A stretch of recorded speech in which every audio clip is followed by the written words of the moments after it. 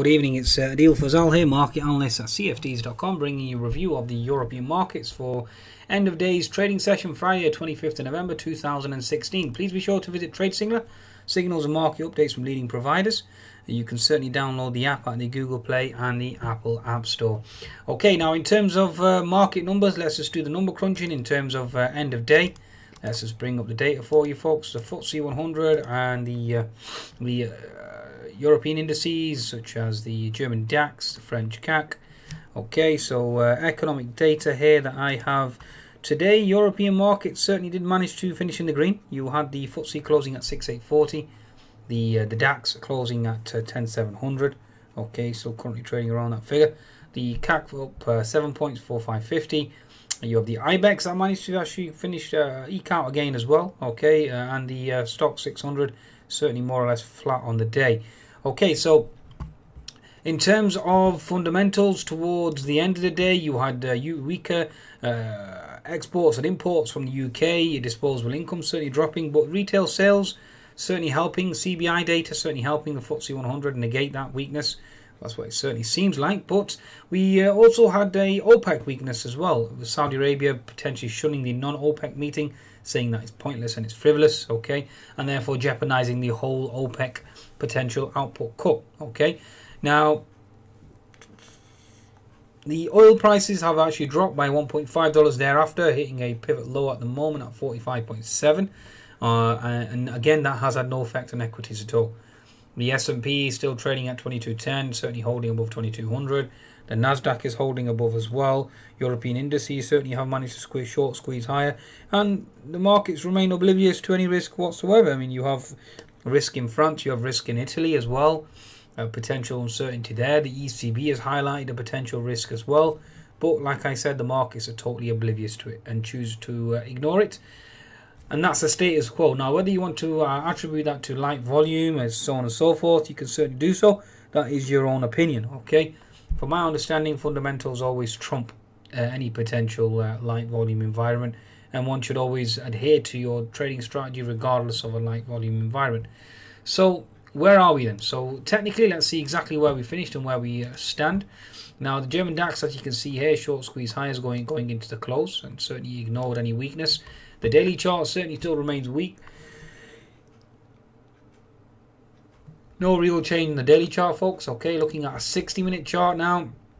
I was expecting this bear flag to play out again, like I said, given the light volume, etc. You are looking at the H&S formation still, so you're looking at the red shoulder, uh, left shoulder here. You're looking at the head and the right shoulder here. So again, it's all about the uh, the actual right shoulder remaining below the fib 61 to 75 percent, and that's exactly what it's doing right now. So therefore, looking for the flush on the German DAX to continue on the downside. Moving on to the French CAC as well. French CAC back into that 4550 resistance zone. Okay, so looking for weakness. Daily chart as well, weakness. And the 60 minute chart certainly remains bearish with this potential H&S formation. So again, provided we remain between below the 65-75% fib, bias remains bearish. Okay, folks? Right. In terms of the FTSE 100, okay, certainly uh, remaining stubborn today in terms of uh, not falling lower, even with the budget concern and the uncertainty regarding the budget certainly has been unfazed. You are looking at resistance at 50 and 61% on the daily chart of FTSE, so therefore looking bearish for a lower high. Uh, the 60 minute chart did actually negate the resistance at uh, 6830 and certainly managed to push higher.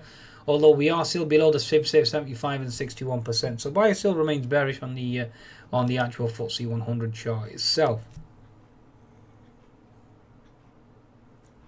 Looking at the 10 minute chart, you clearly have higher highs and higher lows, and that certainly needs to be respected to a large extent. Although technically, we certainly seem to be uh, respecting this key diagonal trend line here, so we'll keep an eye on that.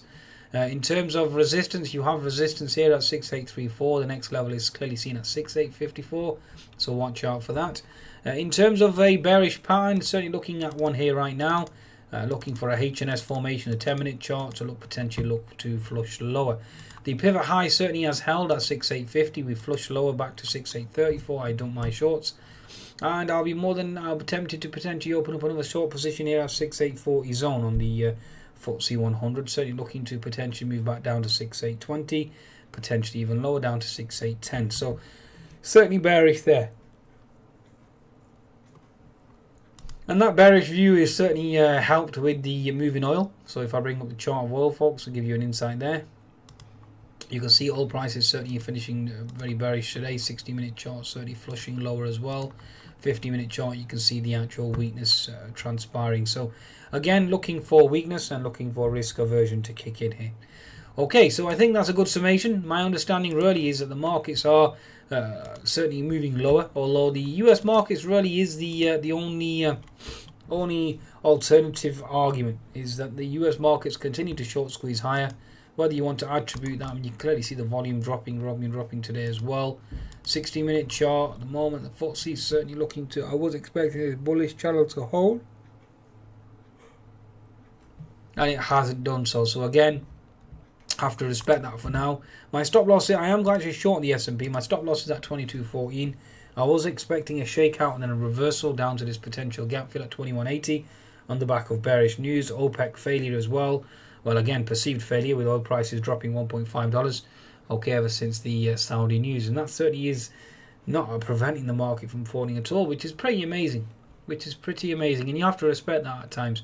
So next potential move could be 2220 and potentially even higher on the S&P. It's constantly moving higher regardless of any uh, fundamental uh, bearish arguments. So again, again, whether it's a light volume phenomenon or whether it's alternative reason, given the fact that the uh, S&P certainly has been continuing to grind higher and higher, along with the uh, the Dow as well, continuing to grind higher. Whether or not it can sustain itself is a, a different question altogether. So again, I'm going to remain open-minded.